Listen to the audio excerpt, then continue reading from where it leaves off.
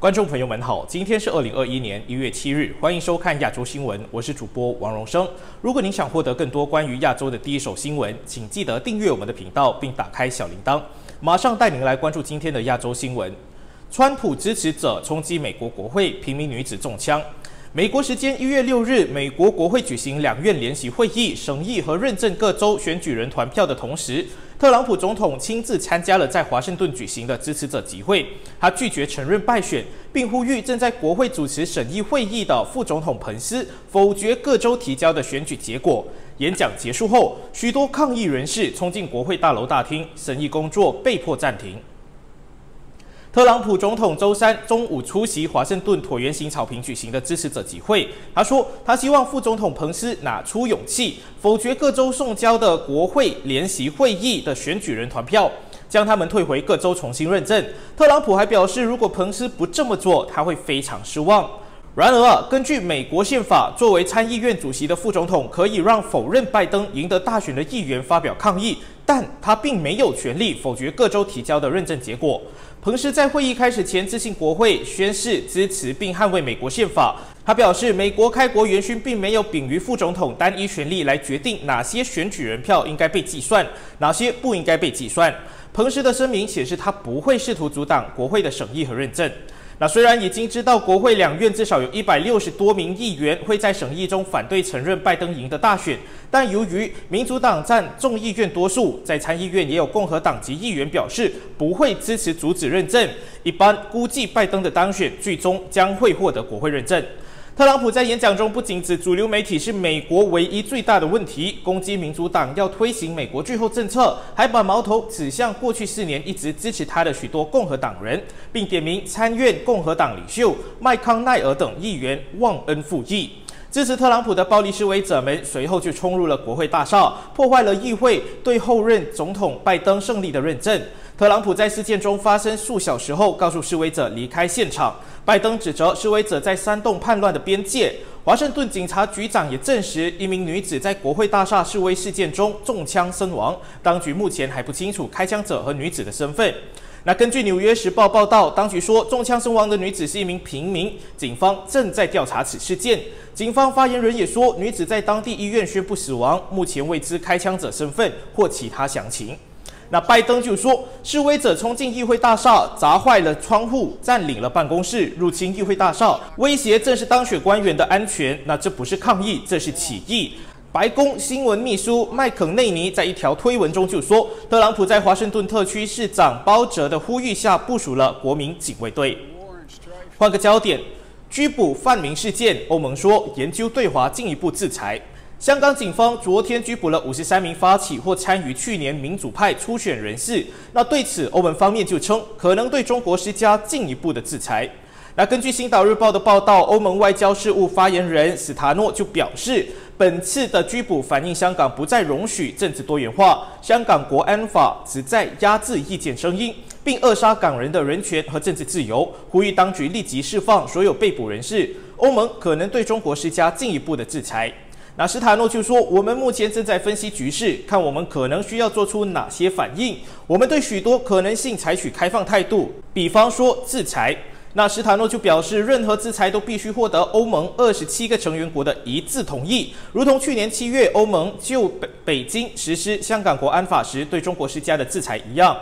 那前港督彭定康也发表声明称，中共及全世界的政治形势和疫情大流行来转移视线，那进一步的收紧对香港的控制。现在显而易见的是，支持民主被视为非法。他又呼吁全世界的自由民主国家必须继续坦然反对这种对自由社会的残酷破坏，并要求欧盟取消与北京签署的可悲的投资协定。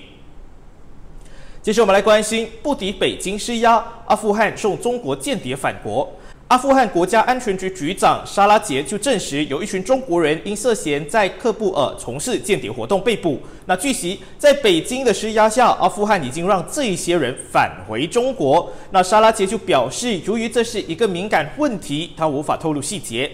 早前就有媒体报道，去年底就指阿富汗在喀布尔逮捕了十名涉嫌间谍和恐怖活动的中国人后，印度斯坦时报昨日就引述官方消息指出，在北京的压力下，阿富汗当局已经让这十名中国人返回中国，那他们于二日搭乘中国当局安排的专机返国。那印度斯坦时报先前就指，曾任阿富汗情报局长的阿富汗副总统沙雷，去年底获总统授权与中国驻阿富汗大使王瑜会面，说明十名中国人被拘捕状况时，要求北京正式道歉，并承认违反了国际准则和背叛克布尔的信任。阿富汗政府就表示，可以考虑赦免这十名中国间谍，否则将继续刑事诉讼。但在北京的压力下，阿富汗似乎没有坚持原先的要求。有分析家就说，也有可能双方私下另有其他交易。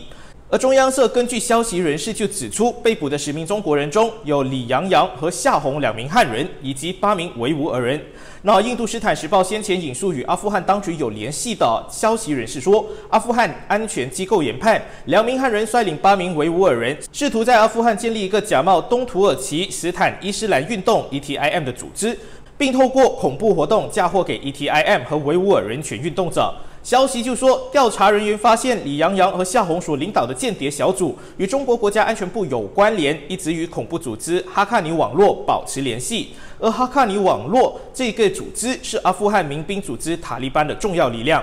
中央社就说，虽然中国过去不断对外否认支持恐怖组织的恐怖活动，但阿富汗的这起涉及中国国安部的间谍小组与恐怖组织保持联系，且持有爆裂物等恐怖活动工具，证实印度过去的指控。那中国与巴基斯坦一直与恐怖组织来往，支持恐怖主义。东土耳其斯坦伊斯兰运动是新疆维吾尔人反抗中共专制统治、寻求独立的组织。北京一直以 ETIM 为借口限制新疆维吾尔人的自由。美国也在日前才把 ETIM 从恐怖组织名单中除名。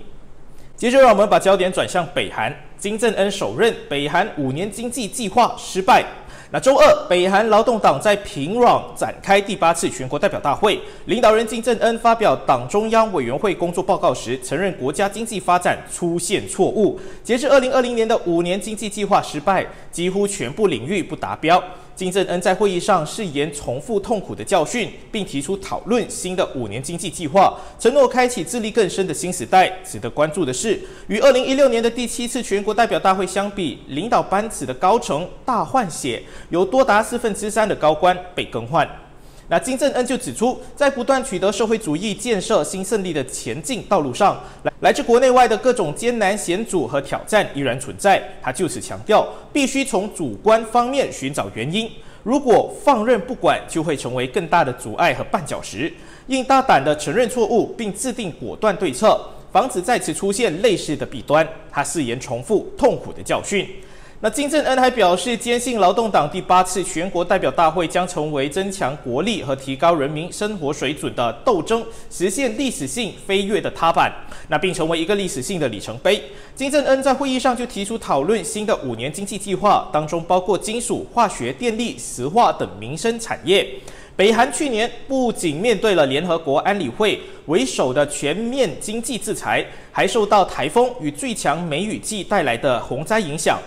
并且在全球新冠疫情下的封锁边境，经济贸易几乎全部中断。北韩在国际社会中更显孤立。那许多外国驻北韩使馆或已经关闭，那或大量减少驻馆代表员额。分析家就表示，北韩这一次的全国代表大会啊，大多数重点都会摆放在内政上，重申自力更生的重要性。劳动党这一次的全代会的核心领导执行阶层中，与二零一六年的第七次全国代表大会相比，与会领导班子成员总人数虽然未发生变化，但约七成半的高官已经被更换。另外，参与此次全代会的人员包括了劳动党中央指导机关成员两百五十人，各组织选出的代表四千七百五十人，以及旁听人员两千人。那参会代表的结构发生了显著的变化，军人代表人数较上次大会减少了一半，行政经济部门代表和一线党员人数则翻倍。那党政部门的代表也有所增加。平壤坚称北韩没有任何的新冠病毒确诊病例。这次的会议啊，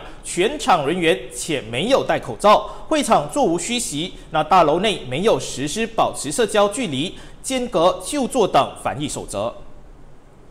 接着我们来关心印尼哥伦达洛省发生六点一级地震。那印度尼西亚哥伦达洛省附近海域今日凌晨发生六点一级地震，目前尚无人员受伤和财产损失报告。根据新华社引述美国地质调查局地震信息网消息，地震发生于雅加达时间七日的凌晨三时五十九分，震中位于印尼哥伦达洛省哥伦达洛市西南五十九公里处海域，震级为六点一级，震源深度约为一百五十七公里。那印尼地处环太平洋地震带，每年发生大小地震数千次。二零一零年十月二十五日，印尼西苏门答腊省明达威群岛附近海域就发生过七点二级地震，并引发海啸，造成至少五百零九人死亡，二十一人失踪，上万居民无家可归。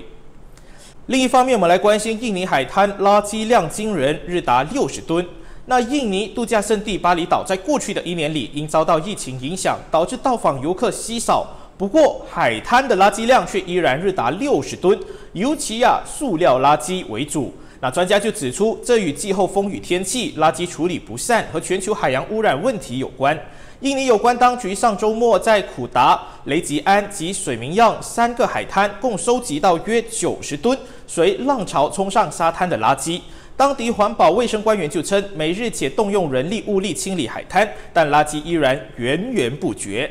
澳洲环球塑胶污染问题专家哈德斯迪就指出，过去十年全球海滩塑胶垃圾量逐年增加，尤其在有季候风的国家，问题更为严重。他提议利用人工智能系统及遥距镜头追踪识别垃圾热点，鼓励民众积极减少垃圾。那巴厘岛每当遇上吹西风及季候雨时，滩岸便堆积垃圾。除了因为海洋垃圾污染，专家亦归咎印尼处理垃圾不善。而另一方面，巴黎省长瓦扬主张新建垃圾处理站，配合足够设备和人力资源，二十四小时处理垃圾。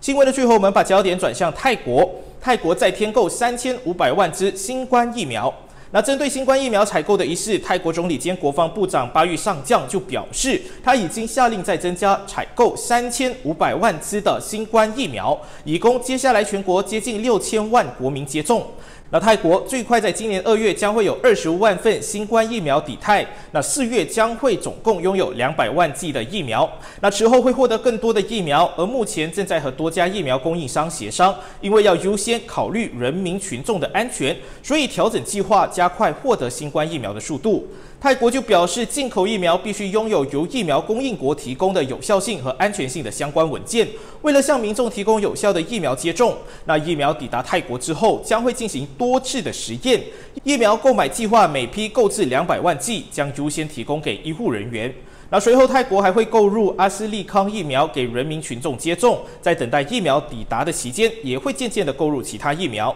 而另一方面，泰国副总理表示，没有人希望疫情会严重到要封国的地步。第一次疫情爆发时，泰国能够有效控制，是因为泰国人民相互帮忙。新一轮的疫情则起源于非法偷渡劳工入境。希望这一次的泰国人民能够齐心协力，一定能够战胜病毒。最重要的是，民众要保护好人身安全，严格遵守政府宣布的疫情防控指令。